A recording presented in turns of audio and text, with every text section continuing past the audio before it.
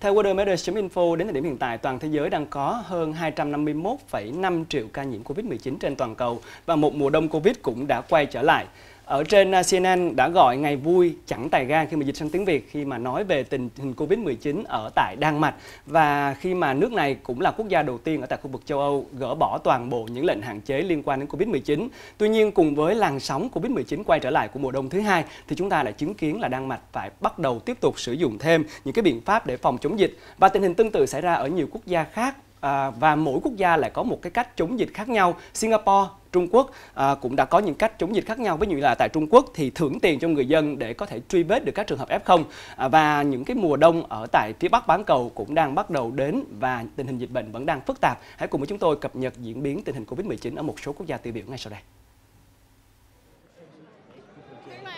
Sau chưa đầy 2 tháng hủy bỏ các biện pháp kiểm soát, Ủy ban Dịch tễ Đan Mạch đã khuyến nghị chính phủ nước này phân loại COVID-19 là một căn bệnh đe dọa xã hội và áp dụng lại quy định về giấy thông hành. Theo đó, người dân sẽ lại phải xuất trình giấy chứng nhận đã tiêm vaccine COVID-19 hoặc kết quả xét nghiệm âm tính với virus SARS-CoV-2, hợp lệ khi đến quán bar, nhà hàng và câu lạc bộ đêm.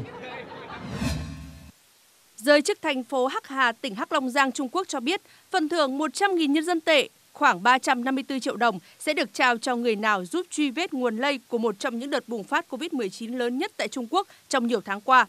Trung Quốc vào ngày 9 tháng 11 ghi nhận 43 ca mắc COVID-19 trong cộng đồng trong bối cảnh đợt bùng phát dịch do biến thể Delta đã lây lan tới 20 tỉnh và khu vực. Số ca mới ghi nhận hàng ngày liên tục ở mức hai con số trong 3 tuần qua.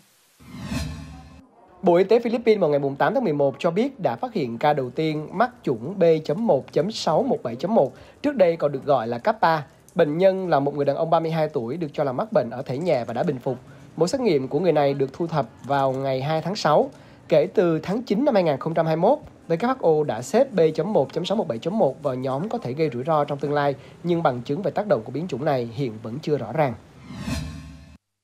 Bộ Y tế Singapore cho biết bắt đầu từ ngày 8 tháng 12 tới, tất cả những người đã lựa chọn không tiêm vaccine ngừa COVID-19 dù đủ điều kiện sức khỏe nếu bị nhiễm SARS-CoV-2 và nhập viện sẽ phải tự thanh toán toàn bộ chi phí điều trị. Hiện chính phủ nước này đang hỗ trợ thanh toán hóa đơn điều trị COVID-19 cho tất cả người dân, thường trú nhân, những người có thể thường trú dài hạn và những người Singapore có kết quả xét nghiệm dương tính ngay sau khi ở nước ngoài trở về.